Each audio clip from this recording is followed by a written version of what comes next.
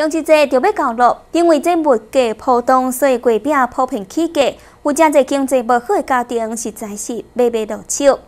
惠林家福中心的义工，今仔日就甲大成商港来合作，做一千粒的月饼，要来送给五十个的贫困家庭，互因伫咧中秋节会当共同来享用充满社会爱心的月饼。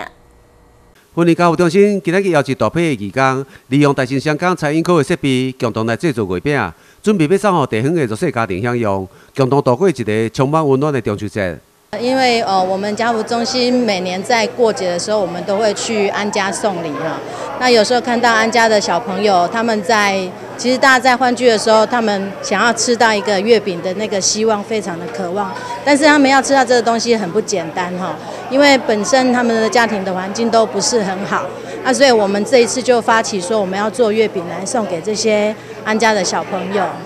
大成社工配合这项公益活动，除了提供设备以外，也动员餐饮科的老师甲学生前来协助制作月饼。校方人员表示，只要是地方的公益活动，大成社工拢真愿意协助。我们家福中心其实是让我们在这边对我们社区服务非常非常的做的非常的多。那我们的话是啊，我们学校有餐饮课有这种场地的话，可以提供给家福中心来做这个烘烘焙我们今天蛋黄酥这部分。其实我们学校非常欢迎社会如果有些像社社福团体或是我们的那个家福中心来借用场地的话，我们是非常欢迎的，也提供场地让做社社区的服务跟那个一起做公益活动，就这样子。婚礼家福中心的义工这次预定要做一千粒的爱心月饼，赠送给五十户的弱势家庭。我们这一次预计就是做一千颗月饼，哈，一千颗月饼，然后先送给我们的五我们邻近乡镇五十户的弱势家庭，哈，比较贫困的弱势家庭，让他们觉得说，哎，虽然呃月饼很贵，然后他们没有足够的经济能力买买月饼，但是呢，我们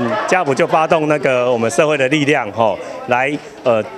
亲身制作月饼，健康又好吃的月饼，然后来造福我们这些弱势家庭。家福中心的义工，虽然大部分的人拢毋捌做过月饼，但是经过老师的指导后，大家真紧就熟手，大家合作做出来月饼，毋但看起来真可靠，也充满众人的爱心。